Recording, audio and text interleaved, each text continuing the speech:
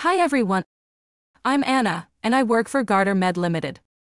We are suppliers of intermittent pneumatic compression devices, otherwise known as IPC. Welcome to our IPC device presentation. We have made three videos, let's dive into the key points. In video 1, we will explain IPC devices and their functionality. In video 2, we will cover the benefits of IPC and practical steps to use IPC devices. Finally in video pre, we will address the possible risks of using an IPC device. Video 1 What is an IPC device? It's a medical device that can help improve circulation in your arms or legs. It works by using an inflatable cuff that is placed around the affected limb, and a pump that fills the cuff with air at regular intervals.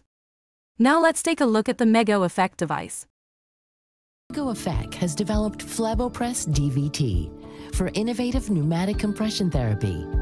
Flebopress DVT uses gentle air pressure to apply external directional massage to the legs. This massage action stimulates the effects of walking, greatly increasing blood flow in the deep veins of the legs and reducing the ability of clots to form.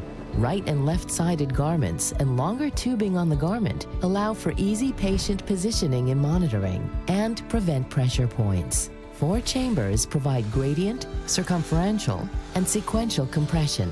The specially designed Flebopress DVT compression garments are light, breathable, and made of soft wicking material that keeps the patient's legs and feet cool. The advanced Flebopress DVT device offers a wide range of benefits, easy one-button operation, automatic single dual garment recognition, audible and visual alarms for easy monitoring, battery power for up to 8 hours of use. Flebopress DVT by Mego Afek keeps your flow in control.